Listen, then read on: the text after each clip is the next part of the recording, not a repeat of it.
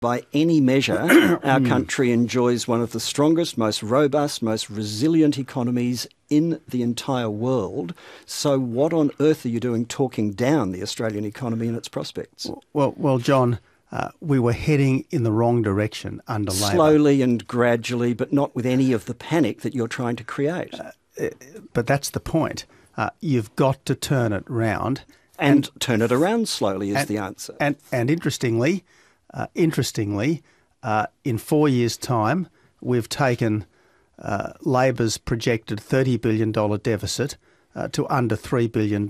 So this is not a drastic turnaround, but it is a very strong medium and long term shift. It's a That's drastic it turnaround for those who are being asked to pick up the pieces for the pensioners, for the disability pensioners and age pensioners, for those who are going to have to pay every time they take the kids to the doctor, for people who are paying more for fuel. They all think it's pretty drastic. Well, well let's look at pensions. There are no changes to pensions uh, in this term of Parliament. All that happens is that from uh, the end of 2017, indexation of pensions will be at CPI rather than at male total average weekly earnings. But pensions will keep going up. In March, the single pension went up by just over $14 a fortnight. It will go up again by a comparable amount uh, in September, and so on. Uh, pensions will keep going up under the coalition. Now, as for the disability pension, well, I, do you mind if I interrupt? Yeah, I don't sure. want to go through these one sure. by one. I want to go back to my initial mm-hmm. question, the GST mm-hmm. in particular. Mm-hmm. You don't strike me as someone who lacks political courage. Well, thank you for that, John. I appreciate And yet, this is an act of political cowardice.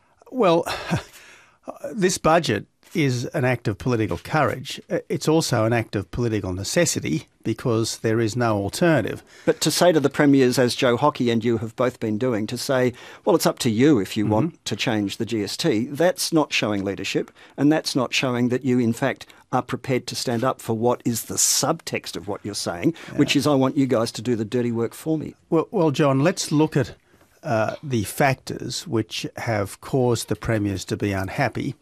Uh, let's look at, at hospital spending. Under the coalition, for the first three years, hospital spending will go up by 9%. In year four, it will go up by about 6%. Now, That's just um, hospital spending. The whole yeah. health system, you're ripping out tens of billions of well, dollars. Well, well, no, but, but as far as the states are concerned, it's the hospital spending that they're worried about. You're cherry picking figures that, here, that, Prime Minister, with respect. Well, let me finish.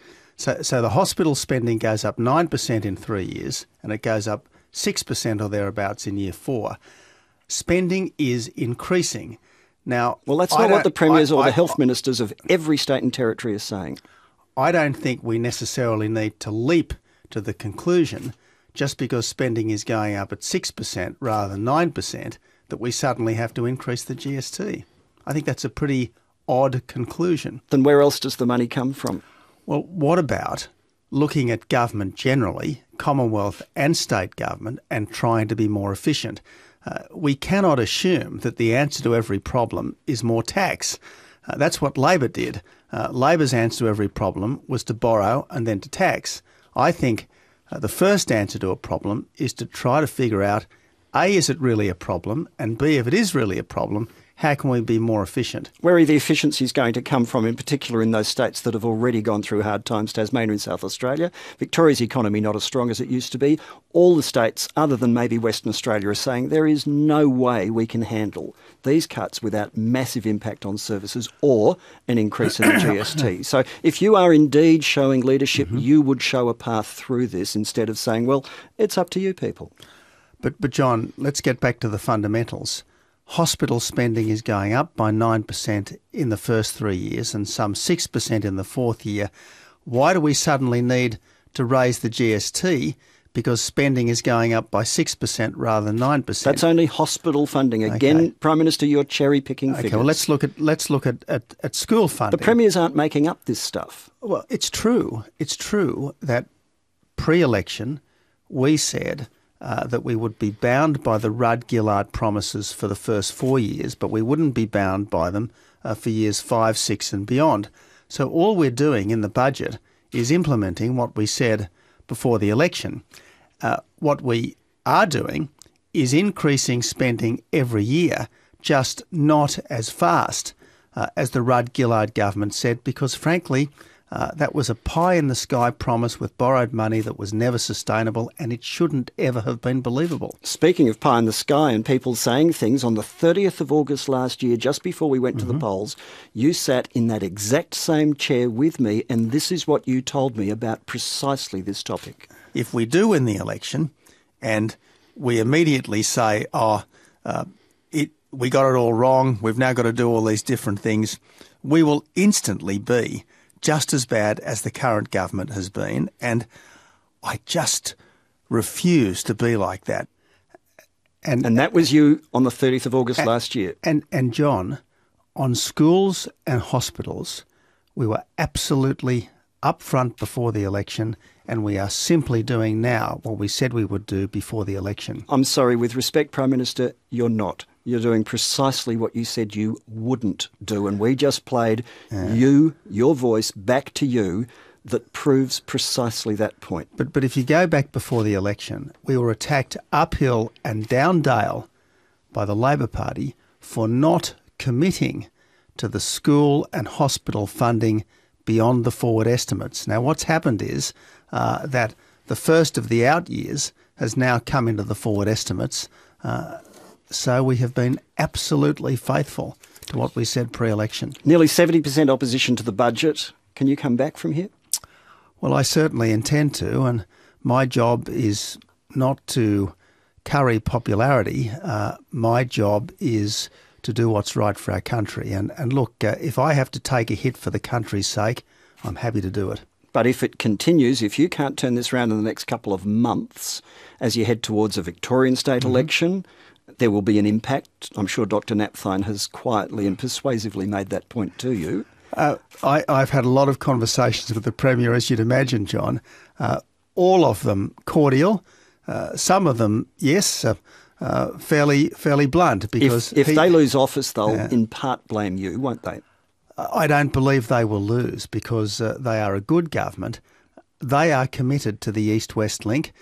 it's absolutely necessary to solve Melbourne's traffic nightmare, and we are helping them with the East West link. In fact, this is one of the absolute fundamental distinctions between uh, the Victorian coalition government and the Victorian Labor opposition we believe in building roads and they don't. We will get to calls in just a moment. Uh, students have uh, indicated their intention to protest in Geelong today. Mm-hmm. You've cancelled your visit. But vice chancellors are also protesting. And this morning we've heard on the radio this morning already that the vice chancellors are saying that your plans for university fee overhauls have to be deferred.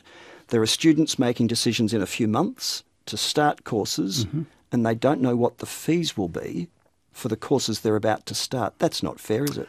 Well, um, the fees for next year uh, will be whatever the the unis say. No, but, they, are starting but courses that will go no, into years but, two and three into but, fees they don't know what they'll be. But but our changes will be from the beginning of 2016 because we appreciate that a lot of planning has already do- been done for 2015. No, but students will be embarking on courses and enrolling in courses yes. where fees will apply in years three or yeah, four, and, and, and they and, don't know what those fees will yeah. be. Uh, if you if you start a course under one system, you'll finish it under that system. So the fees will start. That's correct. In 2016, only for the for students who start in that year. That's right. Even still, they're saying this is too rushed. It's too fast. It should be done more slowly.